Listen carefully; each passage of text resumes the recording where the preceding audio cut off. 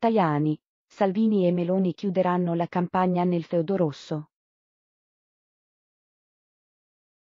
Giorgia, magari ci fosse il cavaliere.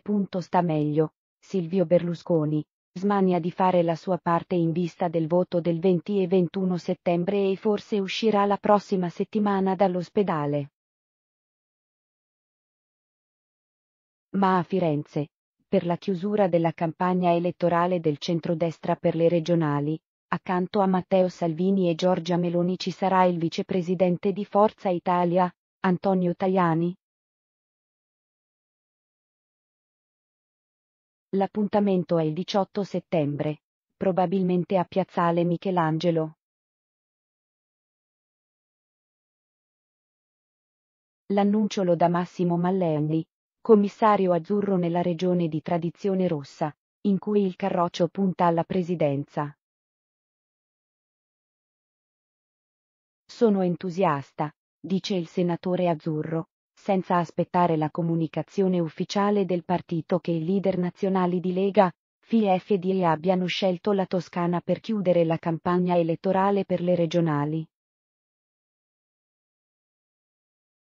Susanna Ceccardi il 22 settembre sarà il nostro presidente, anche grazie all'importante sostegno dei leader del centrodestra. Maleni racconta di essere stato chiamato due giorni prima da Berlusconi che, citando l'appello di Platone agli ateniesi indecisi, gli ha chiesto di invitare tutti a votare.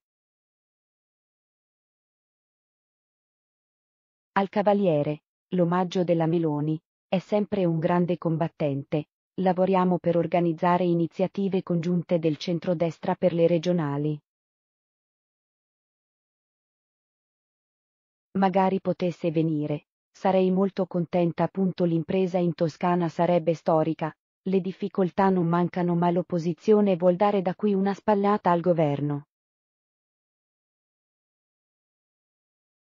Come in Campania, dove il candidato governatore è di FI, nelle Marche e in Puglia dove è di FI, certamente in Liguria con Toti e in Veneto con Zaia, ma anche in Valle di Aosta.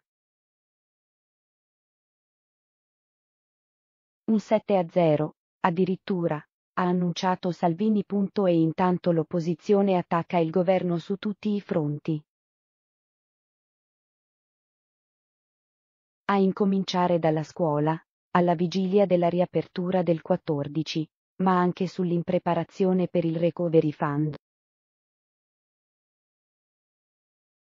Salvini ha dichiarato guerra al ministro dell'istruzione Lucia Azzolina, inadeguata e incapace e la prossima settimana presenterà una mozione di sfiducia, ma il suo vero obiettivo è il Premier Giuseppe Conte.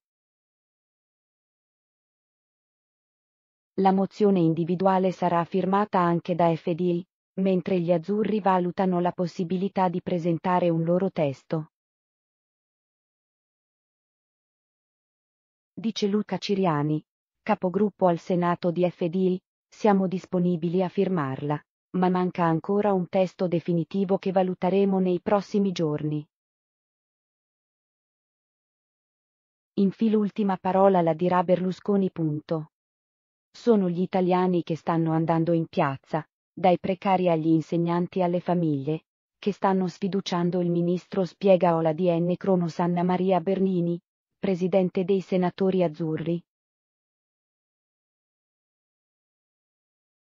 Azzolina sta tradendo le aspettative di 12 milioni di famiglie italiane, che dal 3 marzo aspettano un protocollo di sicurezza che ancora non arriva. È evidente che responsabile di tutto questo non è solo L. Azzolina ma tutto il governo. Altro gesto clamoroso del centrodestra, stavolta unito, quello sulla legge elettorale. Lega, FI e FDI lasciano i lavori della Commissione Affari Costituzionali della Camera e non votano il testo base, schierandosi contro il proporzionale con soglia di sbarramento al 5%. Non saremo complici di questo reato, di questo scempio, sbotta l'azzurro Francesco Paolo Sisto.